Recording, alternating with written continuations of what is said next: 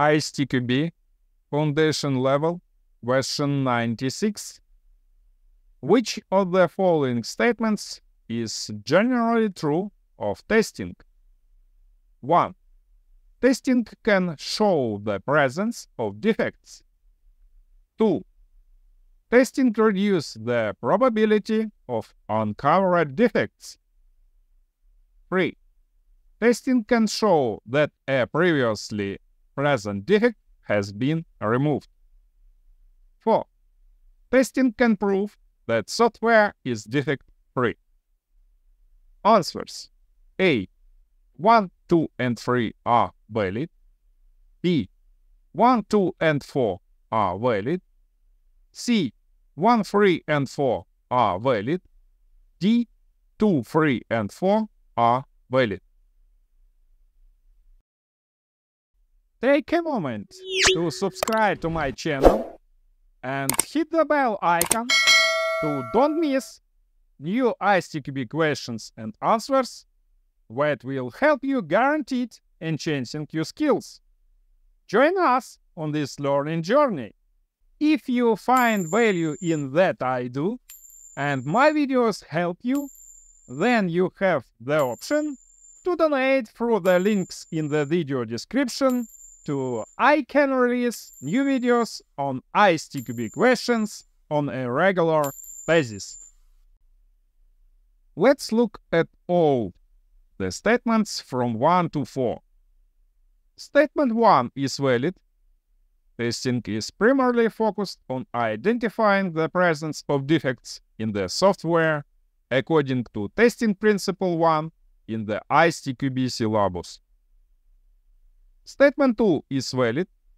Effective testing helps in reducing the probability of defects going undetected, but it does not eliminate the possibility entirely. Statement 3 is valid. Testing can demonstrate that a defect, once identified, has been fixed or removed. It is called confirmation testing, according to the ISTQB glossary. Statement 4 is invalid. Testing cannot prove that software is defect-free. It can only provide information about the presence of defects that have been identified during testing. My recommendation please avoid proof wording in your answers. In summary, all the above leads us to the correct answer A. Statement 4 is false, and statements 1, 2, and 3 are true. Explanation. Finally, let's look at the section 1.3, testing principles in the ISTQB syllabus, where we can see that the testing principle 1 is testing shows the presence, not the absence of defects. Testing can show that defects are present in the test object, but cannot prove that there are no defects. Testing reduces the probability of defects remaining undiscovered in the test object. But even if no defects are found, testing cannot prove test object correctness. This is fully consistent with statements 1, 2, and 4.